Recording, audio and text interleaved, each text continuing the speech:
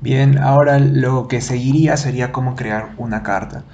Entonces para ello podemos utilizar este, el add, o podemos ah, hacer clic en la tecla A, en la cual nos abre esta, esta ventana, que es con la cual crearemos las cartas. Entonces explicaré un poco más o menos las partes que tiene.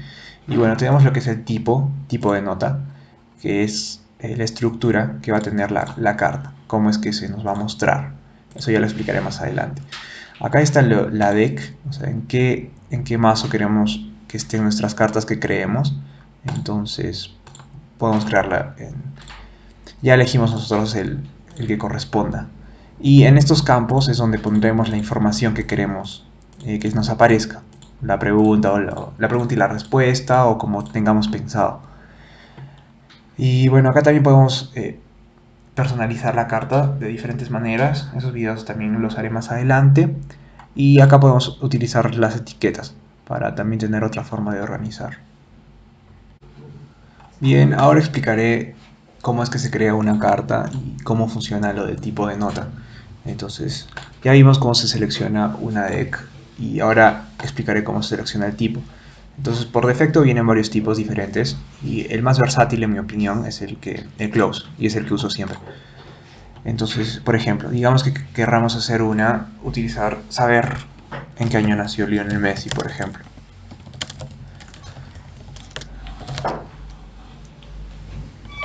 Y bueno, entonces, eh, para esto convertirlo en, en preguntas, simplemente tenemos que seleccionar lo que queramos que se nos oculte y utilizar este botón. Entonces con esto bastaría. Y bueno, también puedo utilizar el atajo de teclas que nos menciona ahí. Y bueno, ¿cómo es que esto aparecería?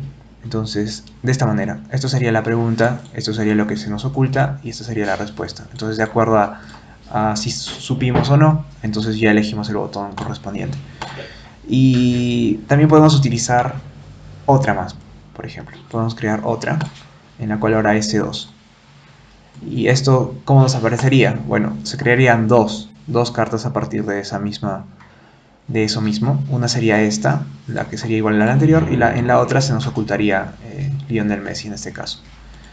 Entonces, también podríamos utilizar el mismo número. ¿Y cómo nos aparecería? Pues se ocultarían los dos.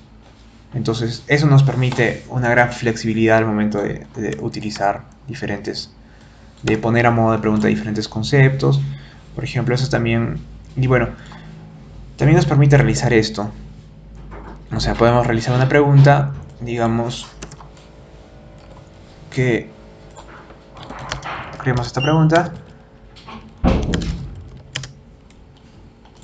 y con su respuesta.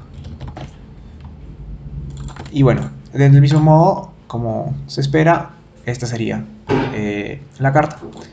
Y bueno, Básicamente eso es lo que harían otros tipos de nota, como el tipo básico.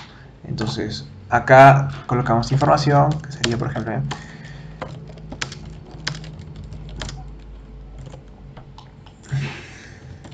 Y bueno, como veríamos esto, sería esto. En qué año nació y acá nos aparecería la respuesta. Entonces esto no nos da tanta flexibilidad porque como vimos podemos hacer lo mismo utilizando el close deletion entonces el tipo close es el más conveniente y esa es la manera digamos básica de cómo crear una carta.